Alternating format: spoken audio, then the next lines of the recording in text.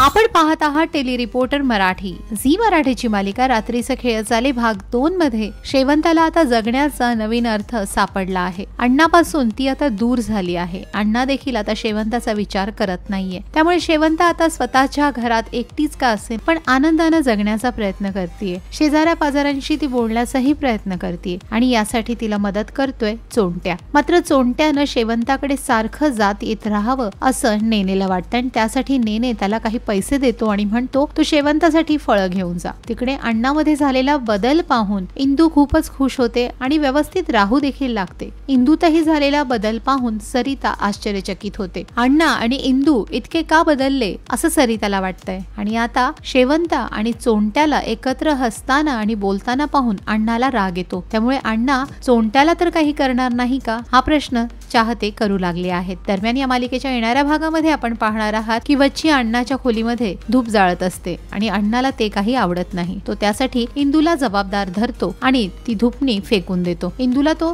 सावध करतो की इथून पुढे हिची जबाबदारी तुझी आहे. रात्रीचे खेळ झाले भाग दोन. या मालिकेच्या अपडेटसाठी टेली रिपोर्टर मराठीला सबस्क्राईब करा आणि हो तुमच्या प्रतिक्रिया कमेंट बॉक्समध्ये जरूर नोंदवा.